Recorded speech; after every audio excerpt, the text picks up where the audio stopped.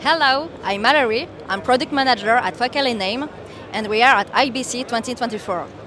So here's my product. It's Nova PE. PE for Power Edition. Um, it comes from the Uniti range from Naim, and it's a new one. The new one and the powerful, with its 150 watts, it can power your really demanding speakers, and uh, it's just completing a full solution with a focal. So as you can see, this amplifier is um, plenty working with uh, the Sopra speakers from Focal.